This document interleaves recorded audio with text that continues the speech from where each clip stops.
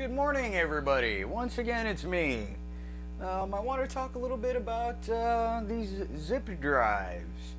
Uh, once upon a time, back in the days of the floppy disk, um, they weren't quite enough for a lot of people for uh, backup purposes, so they came out with these zip disks.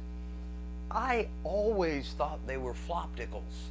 Um, that is, they had an optical component to the storage mechanism, and um, if I remember right, the optical component was uh, from some of the other competing technologies was uh, an infrared light or LED that uh, helped track to a very high precision, which allowed them to write sectors and tracks to smaller portions of the disk.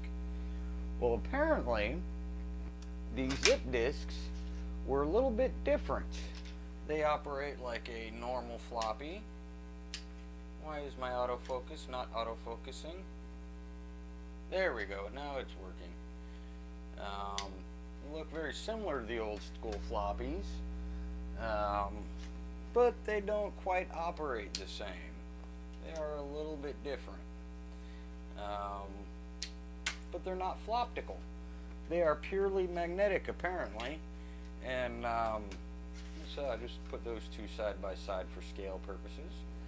Um, yeah, to continue. They ended up having a super accurate servo motor that uh, did all the accurate positioning for them, so they didn't have to have um, any optical component.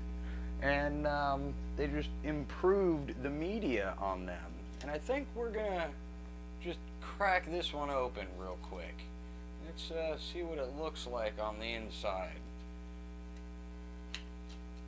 Uh, ooh, I should probably take that off first.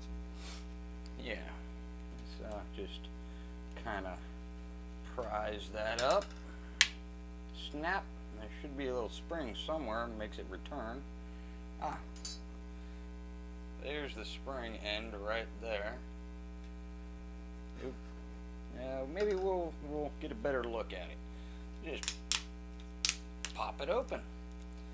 There we go. And uh, here's that spring. Can we see? There's the spring. We can actually see it now. And that's what held this little piece of uh, shutter open or closed. And here's the media. Just a simple floppy piece of mylar. Um, yeah, pretty simple uh, little bit of kit. An upgrade.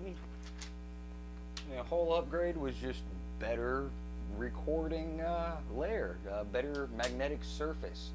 If you look at that surface, it's a lot shinier than what's inside of here. Come on, can we get a focus? It uh, appears to be a bit shinier and a bit darker black.